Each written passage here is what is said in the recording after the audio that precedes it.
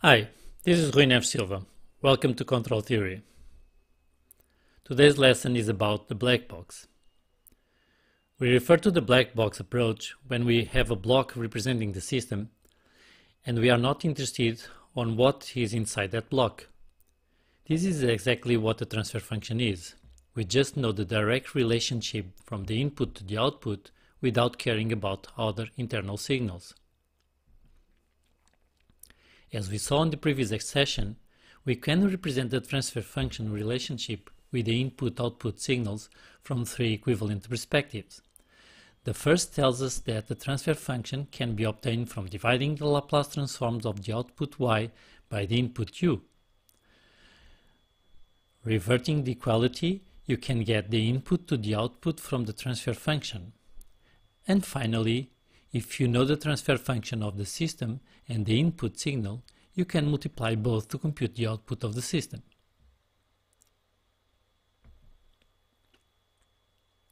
So the first question is, starting from the definition of the system in the time domain, and this arises from getting a linear differential equation representing the dynamic behavior of the system, we apply the Laplace transform to both sides of the equation and we can get the transfer function by direct inspection.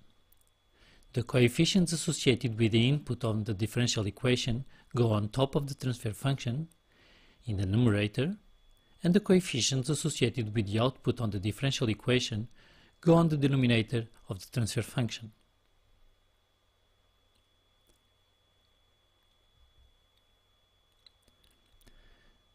So just to emphasize this aspect, the transfer function of a system is the relation between the two Laplace transforms of the output and the input of that system. The time t is no longer here. Okay, so now we have the transfer function. What can we do? Can we squeeze it? Yes, we can. And the first thing we will get from it are the poles and the zeros. You will be breeding poles and zeros by the end of this semester, I promise you. The poles are the roots of the denominator polynomial. And the zeros are the roots of the numerator polynomial. And these poles and zeros live in the complex plane. They can have both real and imaginary parts. Let's take a look at the poles.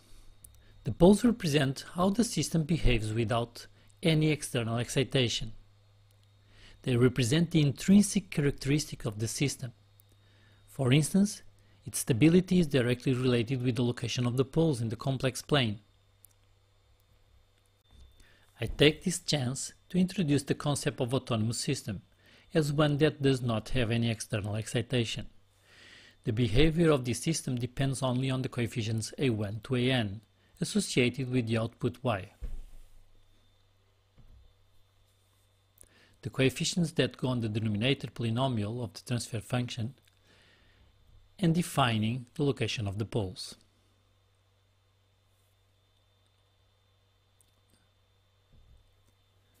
On the other side, we have the zeros that describe how the system is affected by the external excitation, the outside world.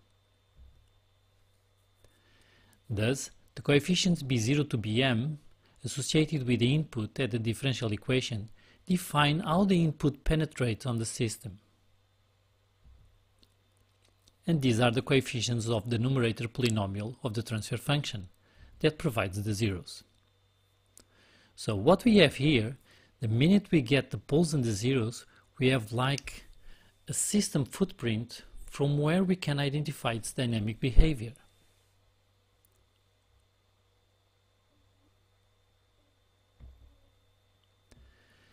The pole zero map is a representation on the complex plane of the poles and the zeros of the transfer function. And after a few weeks, you will be able to look at this map and immediately conclude about its stability, how fast it is, how oscillatory, and so on. And we can start by the stability, which is a basic requirement. We will define on the pole zero map where is the limit border of stability?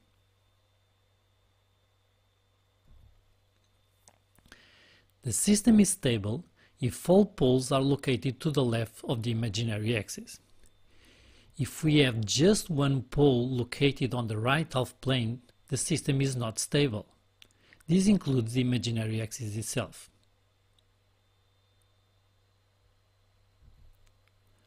This definition is a definition of asymptotic stability, and it's the only definition we will be using in this first course.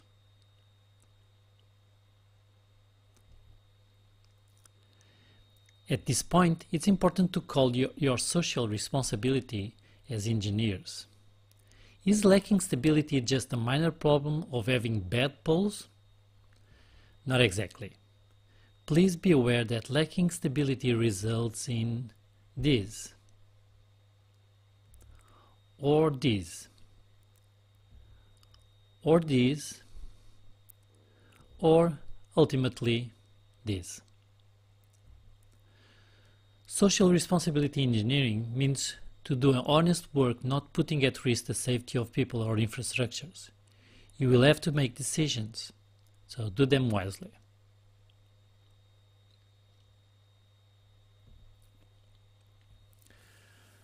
Opening a new section on today's session,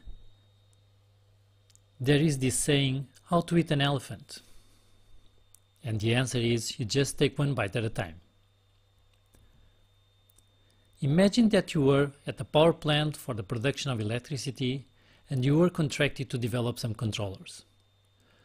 How do we get from such a schematic towards the transfer function? Exactly, we break it down and take one bite at a time. We will model parts of the plant and use the schematic to relate these blocks. And the result will be a diagram like this. This is called a block diagram and this is just an example. And now, how can I manage these blocks to get transfer function I need to analyze the plant behavior? Let us introduce the basic operation of blocks algebra.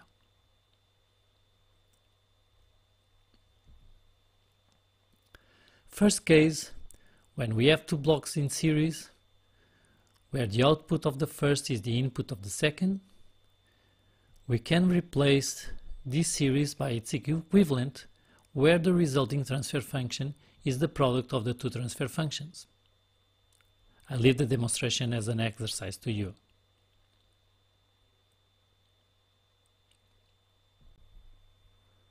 The next case requires the definition of the sum block, which output is the sum of the input signals.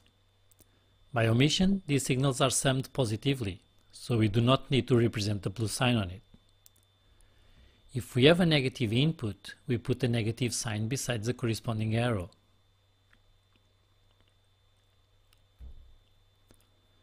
Now we can find the equivalent of the parallel of two blocks. In a parallel, we have two blocks being excited by the same input and the output resulting from the sum of the outputs at each block. The equivalent block GS is obtained from the sum of the two transfer functions.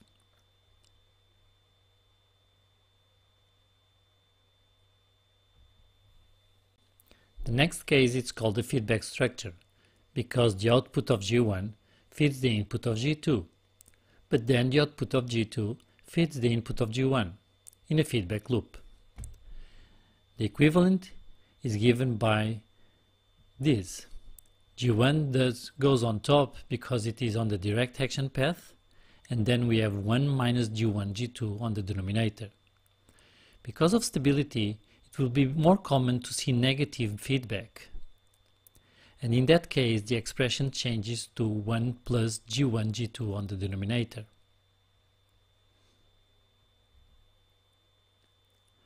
Let us now see what happens if we have a derivation point to jump to the front of the block. This is the equivalent. And if we want a derivation point to jump back, this will be the equivalent. The overall idea is that the signals before and after the transformation, they remain unchanged. And this is easy to check. Now the same for the sum points, if we want to put the sum point forward, this is the, the equivalent.